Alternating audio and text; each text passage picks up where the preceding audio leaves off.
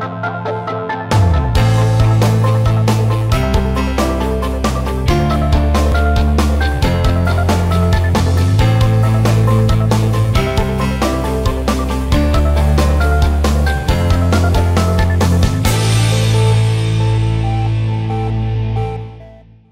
Здравствуйте, это программа «Важная тема» на ТНТ «Онега». Меня зовут Ефим Овчинников. Сегодня в нашей студии Ольга Филипенкова, начальник отдела по делам несовершеннолетних МВД Карелии. Здравствуйте. Здравствуйте.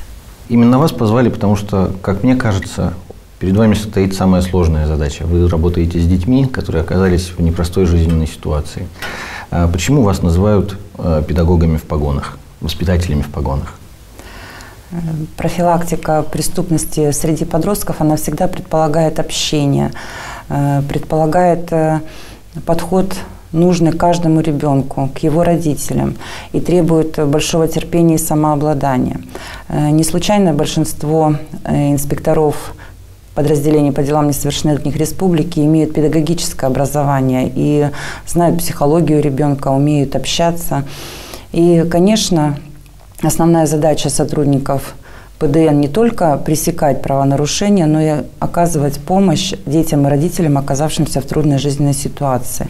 Мы единственные из подразделений полиции и еще Центры временного содержания совершеннолетних правонарушителей, которые входят в систему профилактики безнадзорности правонарушений несовершеннолетних.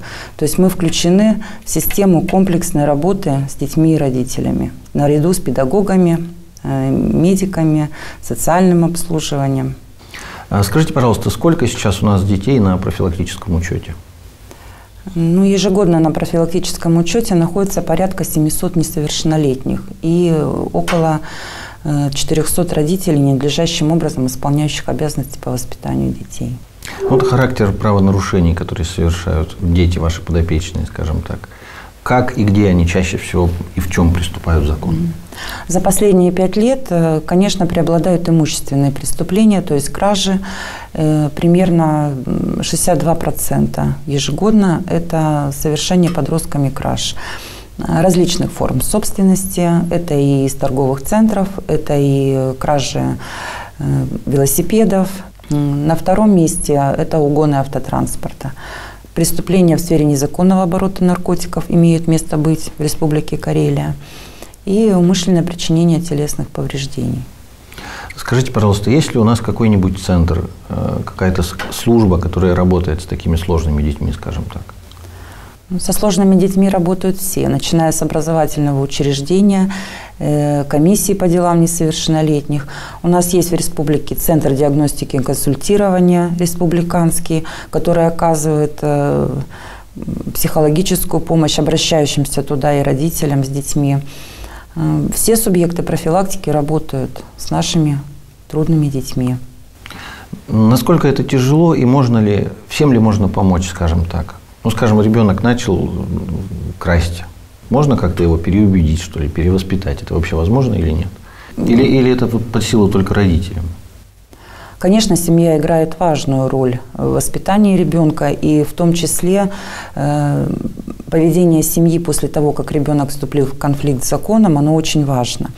Есть ребята, которые совершают, ну, например, кражи из торговых центров из-за необдуманности, стремлением э, самоутвердиться перед своими сверстниками и, в принципе, не являются детьми, находящимися в трудной жизненной ситуации.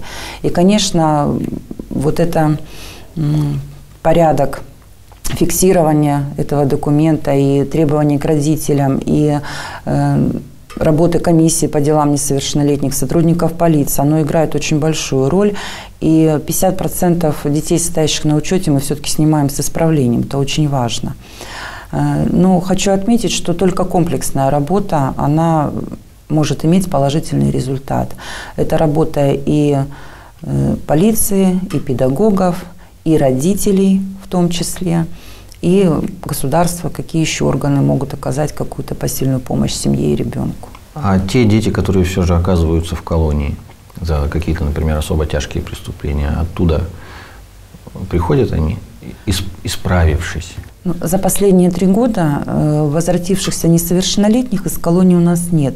Поскольку те преступления особо тяжкие, их немного в Республике Карелия, они совершали в возрасте уже 17 практически лет и возвращались уже взрослыми оттуда людьми.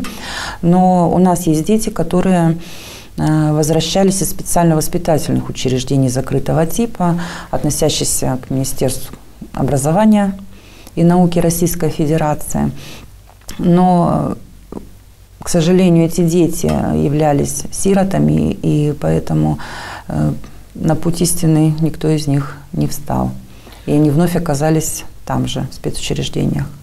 Вот мы до эфира программы с вами э, говорили о том, изменилось ли у таких детей, которые в непростой жизненной ситуации, как вы выражаетесь, отношение к человеку в погонах вот за последние, скажем, там 20 лет. Потому что если вы помните в 90-е годы, это было, был очень сложный вопрос.